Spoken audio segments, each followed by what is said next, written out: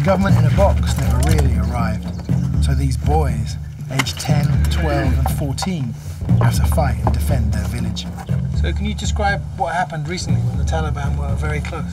طالبان دغه ګم را وغورځوي او ګم چې را وغورځوي برای حالت فکا شکا دا ګرد موږ شنکوپونه پر چلول پر دغه ټاور وکړه پر هغه وکړه Were you fighting as well when they attacked? چې تا چې مې تاره مې ته فقط کش کې Do you find it hard to be brave when there's fighting?